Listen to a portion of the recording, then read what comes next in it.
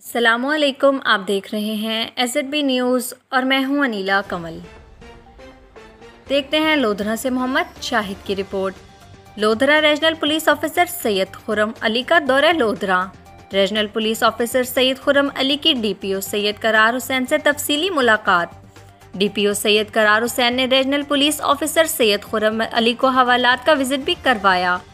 District courts lodhra और बख्शी खाना की सिक्योरिटी और बख्शी खाना लोधरा में हवालातियों की सहूलियात का भी जायज़ा लिया।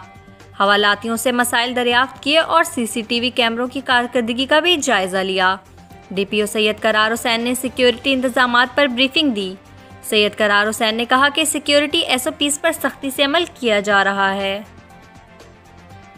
मजीद खबरें देखने के लिए देखते रहें एस न्यूज़। फॉलो करें एस न्यूज़ को यूट्यूब ट्विटर और फेसबुक पर।